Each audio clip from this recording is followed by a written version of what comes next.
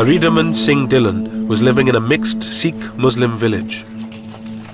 I had Muslim friends and we used to play together. And there was nobody from our families put any obstacles between us. But when the strife began, then I was prohibited from going out with my Muslim friends. But we would sneak away and often we'll get caught and scolded. Uh, my grandfather, he noticed us going about uh, playing around in the fields. We tried to hide, but ultimately he found out and I was giving a good thrashing called it by Jassa Singh ji, By Nihal Singh ji, as a young boy, he watched local politicians stir up divisions between the communities for their own ends.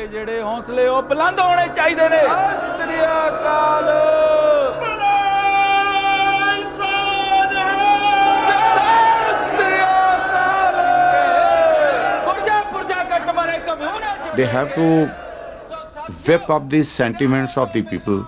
And the easiest way to whip up the sentiments of the people are to tell them that their religion is in danger, that is, their community is in danger.